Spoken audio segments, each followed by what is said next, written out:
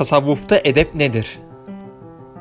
Nakşibendi büyükleri Hz. Resulullah sallallahu aleyhi ve sellem Efendimizin öğrettiği hem zahir hem de batini edeplere sımsıkı sarılmışlardır. Seri sürük esnasındaki sohbet, virt, hatme ve diğer zikirler zahiri edepler içine girer. Kalbin gaflet ve kötülüklerden temizlenmesi, nefsin terbiye edilmesi ve ruhun ilahi huzura yükselecek hale getirilmesi de batini edepler içine girer.'' Edep her şeyi gereğince ve yerince yapmaktır.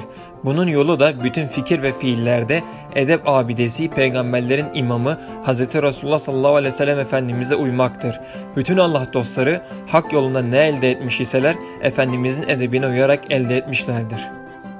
Büyük Veli Seri Es-Sakati Kattesallahu Sırrahu edep aklın tercümanıdır demiştir.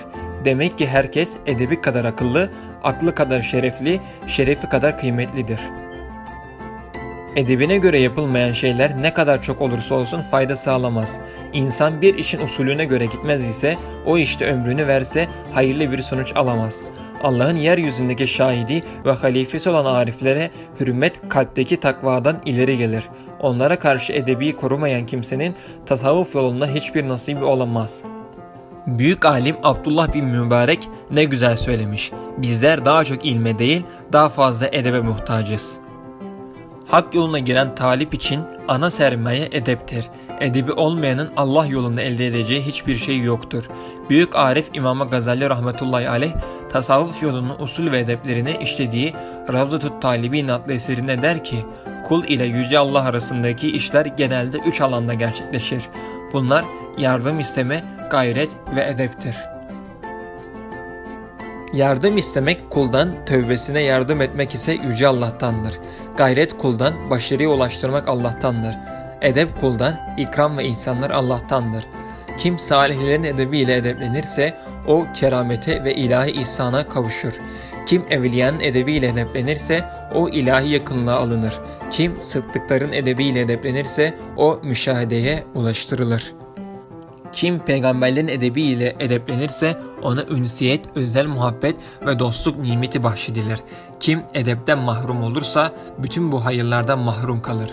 Meşayihin yani kamil mürşitlerin emirlerine uymayan ve edeplere razı olmayan kimse tek başına Kur'an ve sünnet ile gerçek edebi elde edemez.''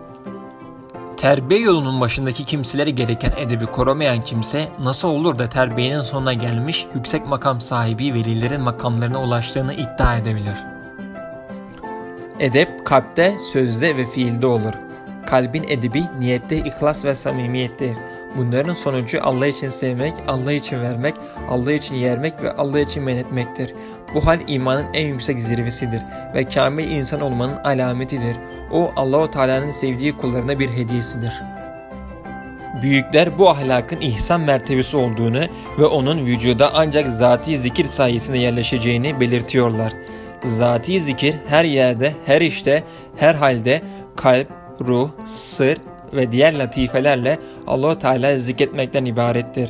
Gavsı Bilvanesi Seyyid Abdülhakim el Hüseyin'i Kattasallahu sırrahu zikir ve edep hakkındaki bir sohbetinde şöyle buyurmuştur. Bakınız bu milletin başına ne geldiyse gafletten geldi. Şahı Hazne Kattasallahu sırrahu gaflet kadar hiçbir kötü hal yoktur derdi. Kimin başına ne geldiyse nefsinin hilelerinden gafil kaldığı için gelmiştir.'' Bir kişi kendi kuvvetiyle gafleti terk etmiyorsa edebe sarılsın. Şöyle ki Rabbim her an her yerde beni görüyor diye düşünsün ve o konuda nefsini zorlasın. Açık ve gizli edeplere uymakla insanın kalbi uyanır. Böylece gaflet yok olur. Sözün edebi makama uygun söylenmesidir. Her makam ayrı bir tarz ve tavır ister.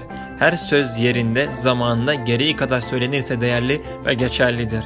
Söz hacet kadar sarf edilmelidir. Sözde yalan ve yapmacık olmamalıdır. Söz sahibinin sözü ile özü, içi ile dışı aynı olmalıdır. Mürşide ve müminlere karşı samimiyet ancak böyle mümkün olur.'' Fiilin işin edebi makama uygun davranmaktır. Her şahsın, her makamın, her ibadet ve taatın kendine has edebi vardır. Bütün edepler sünnet-i seniyede öğretilmiştir. Edep hakka ve halka karşı nasıl davranacağını bilmektir. Kısaca güzel ahlaktır. Bu edepleri tek tek öğrenmeli ve güç nispetinde yapmalıdır.'' İlim edeple güzel olur. Hak yolcusu ancak edeple yol alır. Zikir edeple fayda verir. İbadet edeple yapılırsa Allah'a yükselir. Tövbe edeple kabul edilir. Bunun için Allah dostları talebelerinden her işte edep ister. Edep bekler. Tasavvuf yolunda bütün menzil ve makamlarda insanın önüne tek levha çıkar. Edep yahu.